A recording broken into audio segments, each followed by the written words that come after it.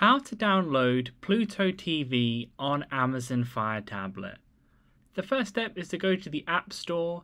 So go ahead and click on the Amazon Apps icon on the home page of your Amazon Fire Tablet. Then once you're on the App Store, you want to click the top right hand corner where you see the little magnifying glass. Then you want to type in Pluto TV. Then you should see the logo pop up. You can go ahead and click on that. Then on the right hand side of the screen you should see a big get button. Go ahead and click on that. Then in the middle of the screen it should say free download and the download button next to it. Go ahead and click on that download button.